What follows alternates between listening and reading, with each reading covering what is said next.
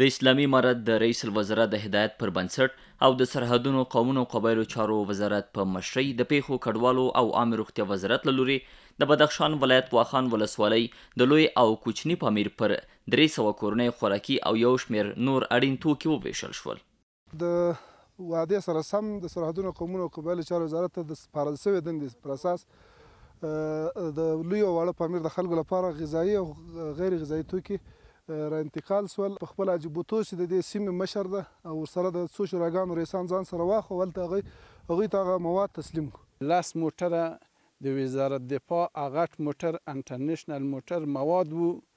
په شمول د خوراکي موادو، غیر خوراکي موادو، د ژمي دپاره البسه او نور مهم شیان چې د دی دپاره ضرورتونه وو هغه دلته په دغو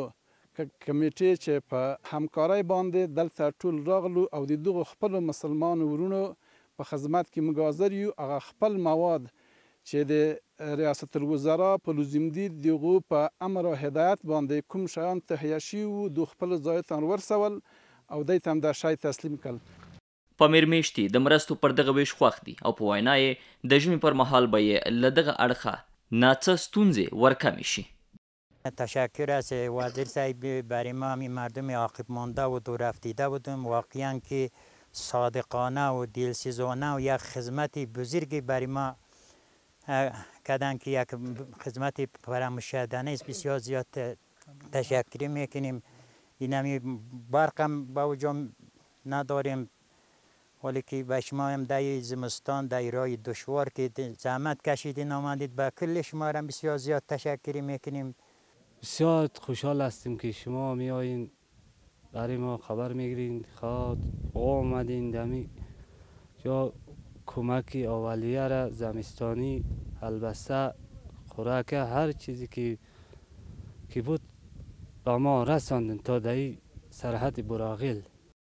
د یادونې وړ ده چې څه موده وړاندې هم د سرحدونو قبایلو او قومونو وزارت له لوري د پامیر پر خلکو یو شمېر مرستې وېشل شوې وې. پامیر د بدخشان واخان ولسوالۍ لرې پرته سیمه ده چې د نړۍ پر بام مشهور دی. پر دغه سیمه شاوخوا درې زره قرغز قوم مېشت دی.